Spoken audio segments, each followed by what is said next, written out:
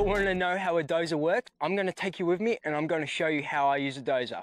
This is our horse arena we're currently cutting in. The bulldozer is the most efficient way to move, cut and push the earth. It just saves so much time. Great machine, very easy to use once you learn how to slowly move the controls. We may as well give you a quick rundown. 27 and a half ton bulldozer. Where these are actually caterpillar rippers on a Komatsu. And people go, why does it have three rippers? It's a D6, it should have one. No, it, it, works perfectly fine. When you're ripping up this quarry rock, it just saves so much time. Imagine doing it with one single ripper the whole way. Normally we have a tree spike on this bad boy, but we've taken the tree spike off. Sorry, I'm trying to walk through. Look at that. That is just and this is the beautiful six angled blade. With the rippers, they're the same. They can be angled and they go up and down. So we can angle them because when you're ripping rock, you really want to angle your rippers towards the machine. So it's going to rip pulling towards, not down. Let's get into this machine. We've got to enter the bulldozer. So always when entering a machine, three points. You have to have rather two feet on and one leg or vice versa. Okay, everyone. So this is the interior of the dozer. It's like an office in here. That's your steering controls and your speed controls. Over here is your blade controls, and that is your ripper controls, and obviously the two safety. We're going to let it idle just for a minute or two before raising our revs up, just to give the engine a chance to warm up a bit. Run through the controls one more time. So this control, if I push it forwards, the dozer goes forwards. If I push it back, it goes back and it stays in those positions. So it's not like I hold it there. Once I push it forwards, it stays forwards and then I can turn it left or right and the tracks will swivel. This is uh, revs, always keep that at max. Fresh throttle, so that is the one, as you can see, it's warmed up, so now we're going to turn it right up. So down here's our decompress pedal, so mind my dirty boot. This is going to need to clean out after this weekend here because it's just so muddy out there. But that will control our revs. This one is our blade control. This is our ripper control. So to activate everything, we have to pull these levers up, as you can see. They basically tell you you can't get in and out of the machine um, when these are up. Um, we're going to let our revs up. We're going to raise our rippers using that. Then we're going to raise our blade using the right. And as you can see, so tilt left, tilt, and then we can pitch the blade at different angles. Obviously go up and down it's quite easy. The middle foot pedal is the brake. You do not use the brake unless it's an emergency. I never use it. Let's see how it's going to handle on this mud.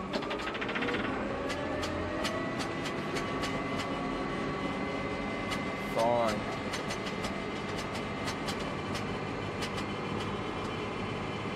But as you can see, the dozer drives itself. If I pass out in the dozer, it will just keep on going. There is nothing stopping the dozer um, from stopping unless I slow it down by putting my foot on the deaccelerator or I take it out of gear by pulling this back. This is how easy it is to turn the dozer. It's just left and right. It's a very small increment and same with your blade. You really want to be very slow when moving your blade around. The smallest bit of movement in your blade will change your cut completely and you end up with bumps everywhere and crap. You just need to keep it very slow, very steady, feel the machine. It's like an exoskeleton to you. But we're going to do our first mud cut. So let's see how wet it actually is down here.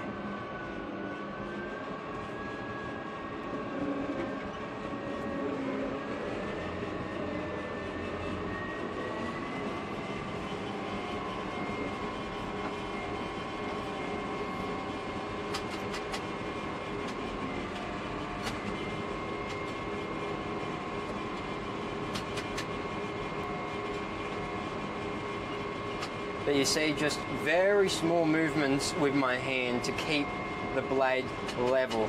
And you don't particularly look down at the bottom of your blade either. I've always learnt to look up in your horizon, look up where you're going, and sort of just feel your machine. Your machine's designed to be very reactive, so you can feel what it's doing. It's also very slippery at the moment as well, so it's trying to drag me down the hill a bit. Oh, that's wet.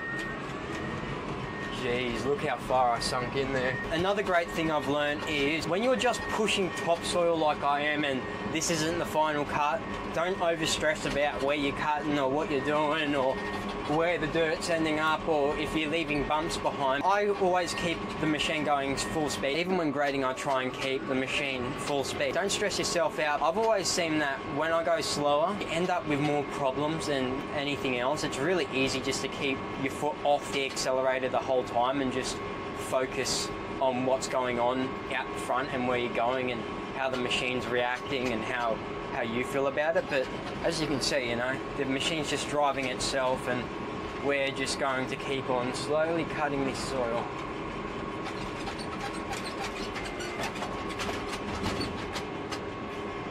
Look how straight that cut came out just from a quick run over, you know, it's I'm not even trying to make it straight, I'm just sort of pushing the dirt, if that makes sense. I'm not focusing too much on making it level at the moment.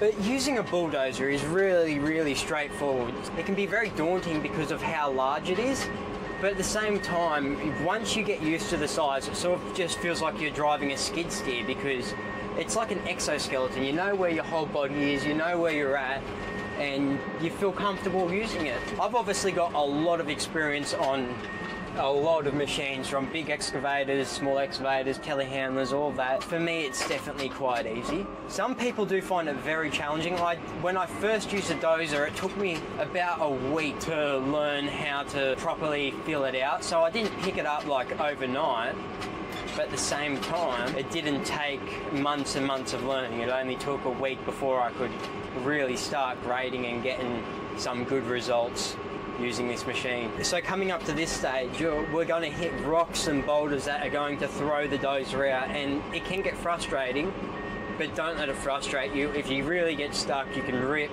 and just push it up with the rest of your topsoil, but I prefer to keep the topsoil and the rest of the rock we're going to cut and fill with very separated. I don't want any of this grey, dark soil with uh, nice lighter colour rock and stuff like that because this stuff will make the pad an absolute mess. But you will find since you're not ripping that rock and you're just trying to take that crap layer off the top that those rocks that are underneath are going to throw your bucket out of line and you'll end up with something like that. As you can see, there's rocks starting to come through, throwing the machine a tiny bit out of line, but that's easy to correct as you can see once I got past those rocks is completely flat. But don't stress about it. You're, going to rip that anyway. So if you're building a pad like this, really isn't something to worry about. Just watch how much I sunk there. I'm like, yeah, I'm not going to continue straight there. We're going to come up this way.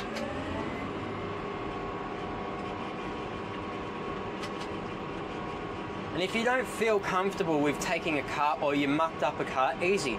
Just reverse and start again, but start maybe on a different angle if it's wide enough, or try and cut your little drains out if you're if you're struggling with that. I know a lot of people starting with a dozer end up just doing this. They end up doing stuff too fast and their machine is it doesn't need that much movement. They're thinking it's it's coming out flat, but it's not.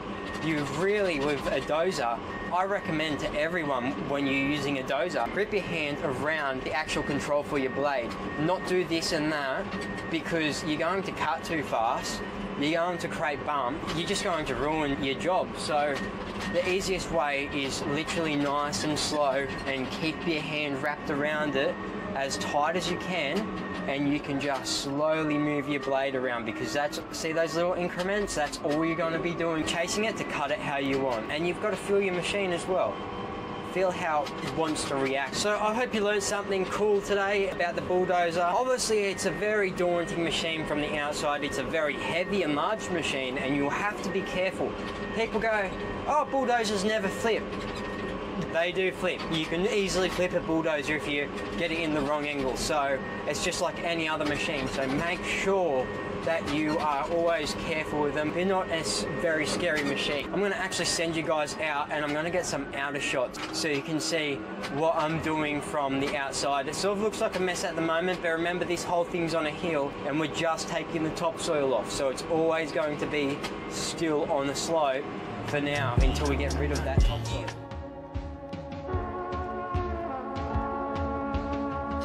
Tears drop, crystals